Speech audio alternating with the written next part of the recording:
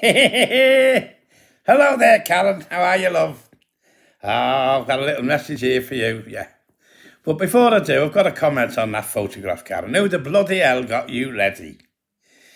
And you think that makes you look trendy because you've got like a match a matching piece of thing in your hair that matches your frock. Oh, come on, Karen, for God's sake. That went out years ago, that sort of style. Bloody hell, I wouldn't I wouldn't let Barbara in the house if she bloody dressed like that. Anyway, I noticed you've got a little dog on your lap there. Is it a Lhasa Apso? I can't say completely say, but I'll tell you for why. Because you mightn't believe me here, kid, but Karen, I'm an expert on dogs. I am writing a dog book at the moment, which hopefully will be out for Christmas. So you can get one of your family to buy a for you for a nice Christmas present. I yeah, go to Crufts every year and I've judged at a thing called Scruffs. Yeah. Now that's just for family pets and rescue dogs. Yeah. And I've done that years ago. And the winner I picked only had three legs. yeah. But it was a lovely dog. And if you don't believe me, get your little iPad out or get one of your kids out and I tell them to look at, uh, for um, dog parlours in Liverpool. And you'll see one there called Mucky Pups. That's mine. For three lovely girls there, three lovely groomers.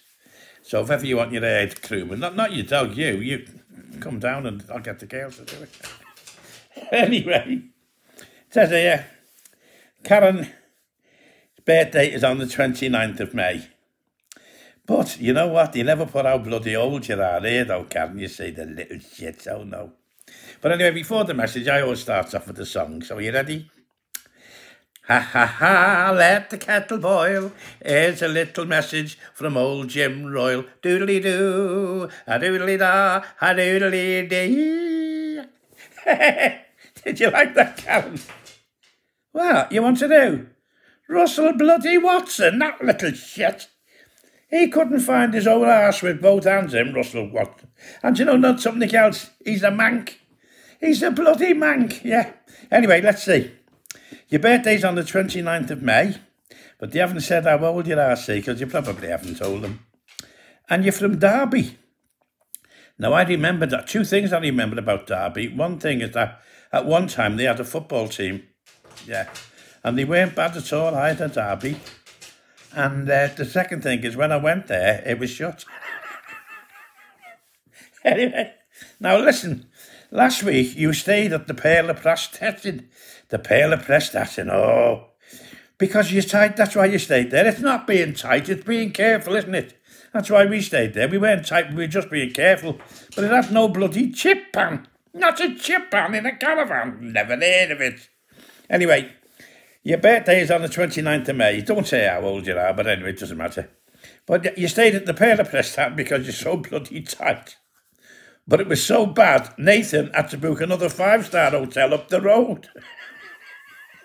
So come on, Karen, you can't be because look as though you've got a few shilling. Bloody hell. I was going to, uh, I was going to invite you down to the uh, the old feathers with me and Beverley Macca and uh, and Barbara, just for a few little drinks, you know, the game, and I give a song on the karaoke. Oh, in the feathers, got a great karaoke. I get up and sing, Here in my heart I'm alone and oh so lonely. And you want to hear the women shouting, shouting, Get off, you soft sod, get off, you crap.